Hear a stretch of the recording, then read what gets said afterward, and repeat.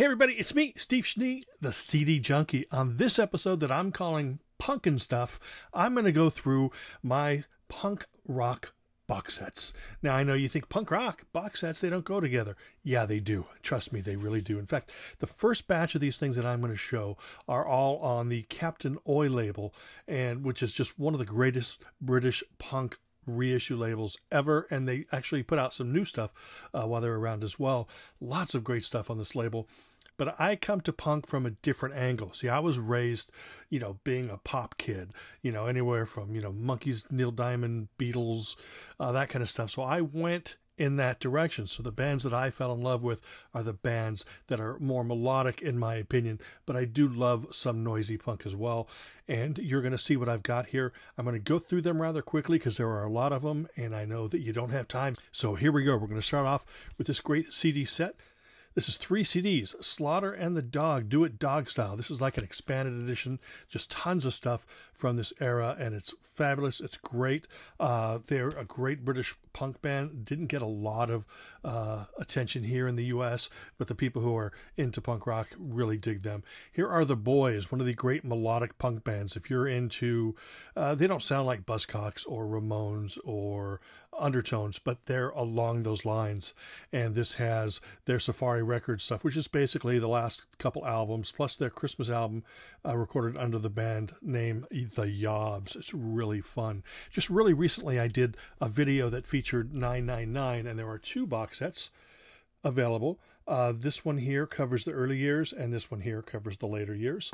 Uh, there's still mid period there, about three or four albums that are not represented on uh, their box sets. I don't know if they're going to do them, but these are absolutely fantastic, wonderful, melodic, great pub punk. Uh, another great band from that era that didn't get that much attention here in the US.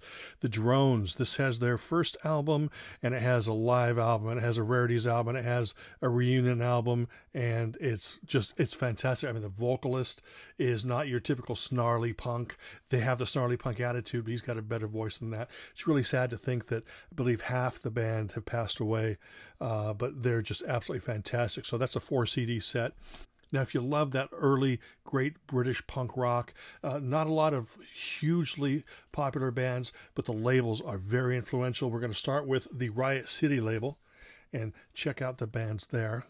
That's four CDs, and that's the uh, singles collection. So it's got a lot of A's and B's.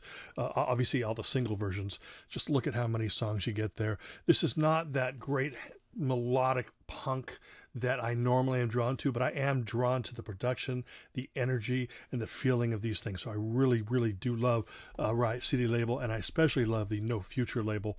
And this has more, but you know, there's more stuff here that's maybe a little bit poppier if you're more into the poppy stuff, but it's still pretty edgy punk and it's raw and it's sweaty and it's fantastic. And that is another four CD set, A's and B sides from this label. You know, bands like Channel 3, The Partisans, One Way System, people like that. Uh, lots of great material on that collection. Speaking of The Partisans, I just mentioned them. There is a three CD collection out, and that's uh, 81 to 84 and that's a really great collection. This is not in a clam box. See, these, the No Future in Riot City and the drones are in these little slip cases. Most of these are in the clam boxes. This is sort of a thick digipack, and that's really fantastic. Here's another great band along the lines of the Partisans, but not really even. It's the Outcasts, and that's a four CD set, and that's got uh, Self Conscious Over You, which is their classic album. Blood and Thunder, they were getting a little he- heavier, rockier, uh, but still some great songs, and then it's got uh, a lot of rarity stuff on there as well. You're definitely going to want to check that out. One of my favorite Oi bands, uh, and Oi bands, it's I mean, look it up the internet. I don't have time to get into it, but it's you know, it's the call and response. It's it's it's it's it's aggressive, but in, in many ways it's also positive. It's fun. A lot of chanting, fist in the air, anthemic punk rock, and that's the business. In fact, Captain Oi himself used to be a member of the business. I will not mention his real name out loud because he might throw something at me. Uh, here's another great band. I love this band to death. Splodgenessabounds. This is, you know, this is fun, jokey punk rock but one of the great songs that they put out, which is a classic song, it's called uh, Two Pints of Lager and a Packet of Crisps, Please. And this is fantastic. I love these guys. Uh, now, of course, I love Stiff Little Fingers. Now, the early stuff is not compiled by Captain Oi or related labels, uh, but you can get some of their later material here on this box set. Stiff Little Fingers. It's a four CD box set. Definitely worth your while. Another kind of jokey, fun, but very serious and great punk band is Peter and the Test Tube Babies. And this actually has six CDs in it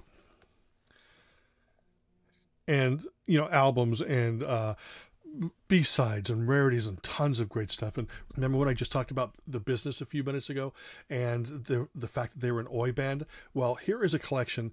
It's called Oi the Albums. There was a series of Oi collections that came out, uh, and it's. I'm sorry, you know. I, again, I come from that uh, that sort of catchy. You know, I love catchy stuff, and this stuff is just undeniably catchy. But it's aggressive, and you know, and it's punk rock. It's you know, it's no laughing matter. But I love it though.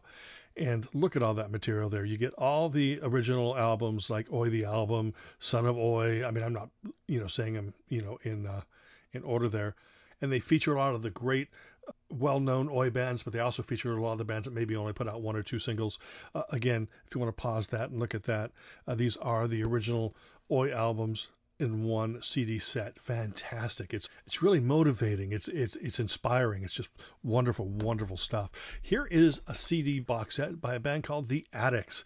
boy do I love The Adicts. again great melodies, great hooks, great songs, uh, and the, these albums are jam packed. Now, some of the albums, they did go off in a different direction, you know, maybe a little bit more commercial, uh, and that may have turned off some people. But with me, as long as the hooks are there and the songs are there, the Adicts, just fantastic band.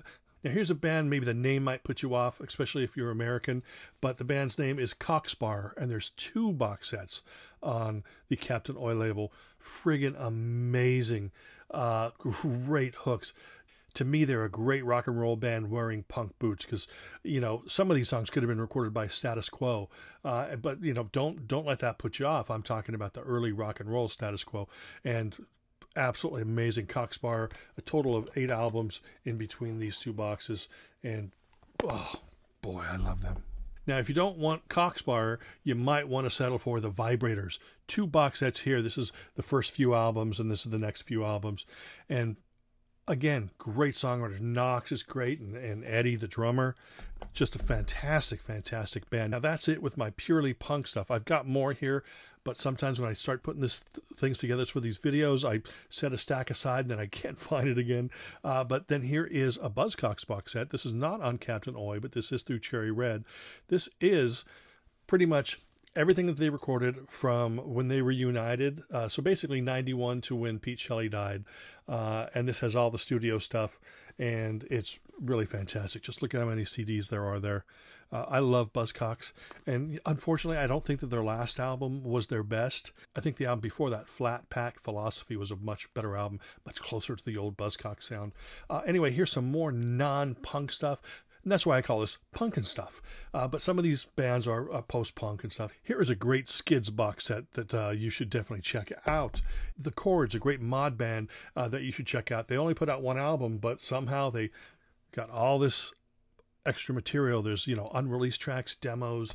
Oh, wonderful stuff. Uh, of course, Penetration, another great post punk band. That's a four CD set there if you love your gritty garage rock and roll, the Inmates, uh, and there's the first three albums there. And this has Dirty Water, which is one of those songs that you want to, you when you're driving down the street, crank it up on your stereo. It is just, you know, if you if you still make mixtapes, that should be the first song on it.